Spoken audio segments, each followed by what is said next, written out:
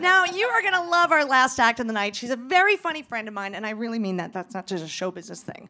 Uh, she's performed stand up all over the world. Her TV appearances include Reno 911 and The Late Late Show with Craig Ferguson. She's currently writing and acting in the hit web series Romantic Encounters, proving that blondes have way more fun. Here's my buddy, Melinda Hill.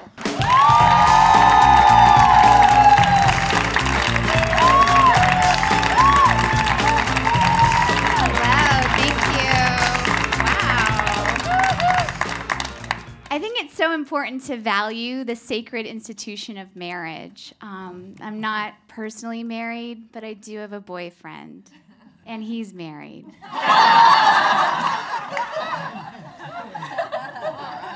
a lot of people have a personal motto or creed that they like to live by. I guess my personal creed is just no matter how bad things are, they would definitely be worse if a Creed song was playing. I did just get engaged by changing my Facebook status to engaged. My dad is Irish Catholic and my mom is Protestant, so that makes me bisexual. I am bisexual, meaning when a guy buys me stuff, I do feel sexual.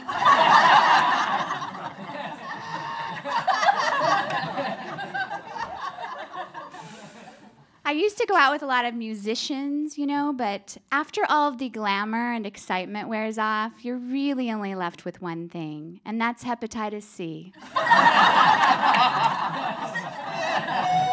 always feel sorry for people with bad tattoos, you know, because that's like a temporary phase they went through and then they got stuck with it for life. I mean, if I was stuck with like every wacky trend I thought I needed to have, I would be standing here with like a, a crazy belly button ring and a baby.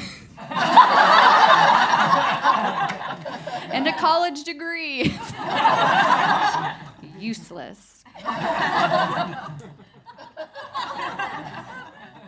I did complete college early uh, by dropping out. I wish uh, online dating profiles were honest and people would come right out and tell you about themselves. I am a narcissist in chronic back pain who needs constant rides to the airport.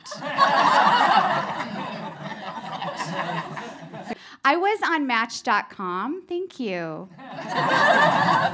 and I met a guy on there who called me three times. Um, and when I called him back, he didn't remember who I was. So he's like, Melinda, this is Toy Story 5 from Match.com. Let's see if this is as good as it is on paper. Right? First message. A little while later in the hour, Melinda, it's Toy Story 5. Not sure if I called you yet to ask you out or not. Anyway, I'm calling you now. Call me back. Calls third message, Melinda, not sure if you got my earlier messages. Never know if people get my messages. At any rate, call me back. Here's my home number. So I call him back. Hello? Hi, it's Melinda. Melinda?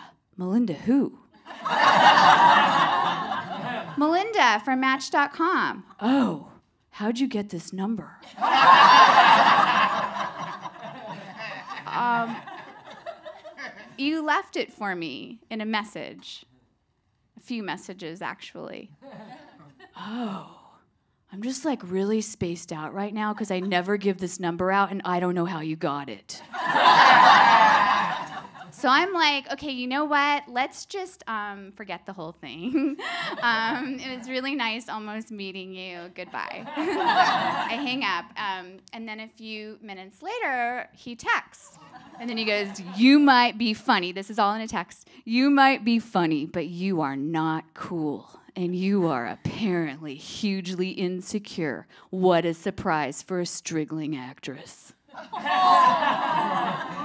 P.S. If you are going to wear sleeveless dresses, do some arm work, please. so I text back.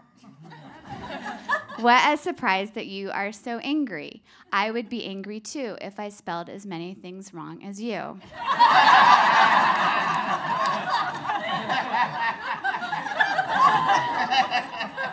You called me three times and left your numbers in three different messages. and you act dumbfounded when I finally return your call. Girls like classy guys. Even strigling girls have standards.